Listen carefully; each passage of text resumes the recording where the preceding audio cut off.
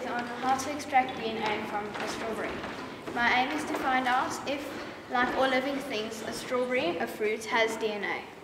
So, my method is take 90 milliliters of water, mix it with 10 milliliters of dishwashing liquid. You can also use shampoo, but I found that dishwashing liquid works the best.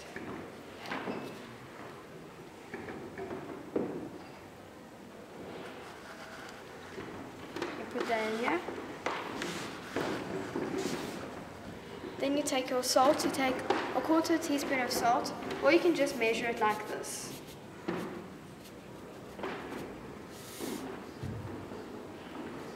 And you can mix it all together.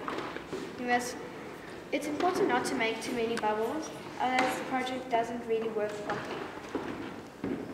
You just stir until you can't see any more salt and everything has become one.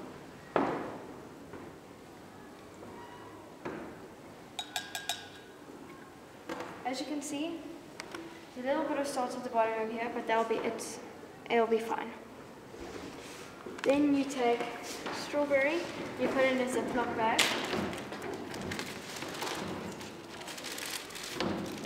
You just try not to get too much air. And you close it all up.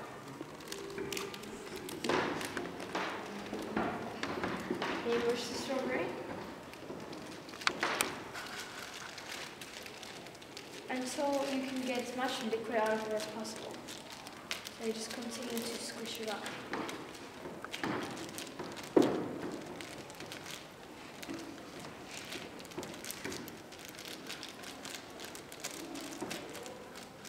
That should be fine. Then you pour the mixture that you made earlier into the bag. And you just pour it on the side like this, so again it doesn't make too many bubbles.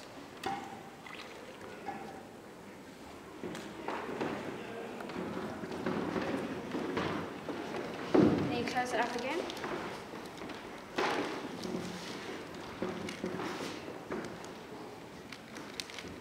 And you can just mix that together.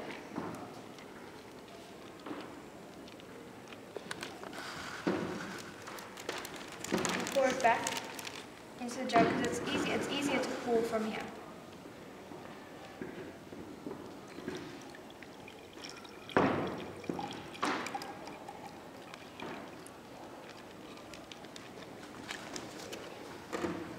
Then from here, you can pour it into a little test tube like this.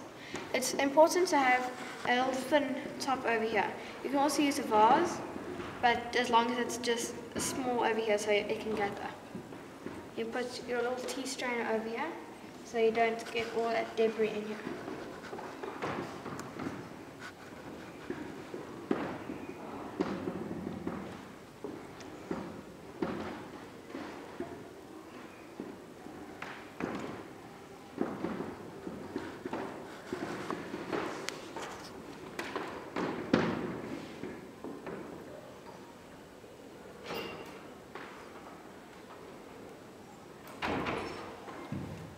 Should be fine.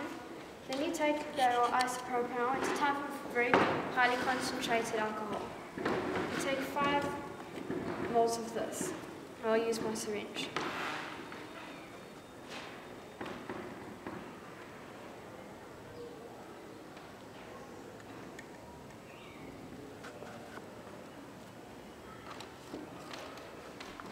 And just before I pour it, I'll put my gloves on. Because if this gets on your skin, it can burn quite badly.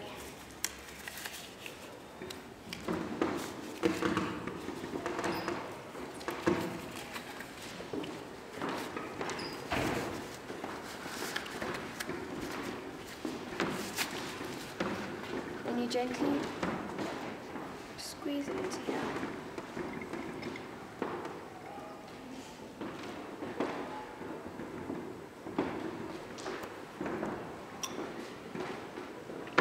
As you can see, if you look over here, you can see these tiny little white specks arising to the top over here. This is actually the DNA of a strawberry. And you can take the tweezers, and once it's gathered at the top, you can take it out. I'll just wait for a little bit. So the reason this all happened is because the dishwashing liquid, it separates the membranes of the strawberry, which allows the DNA to come through. The salt, it, it can dissolve in water, but it can't dissolve in alcohol. So when you put it, when you poured it into there, into with the strawberry juice, then it sort of clung to the DNA. So when you, and then you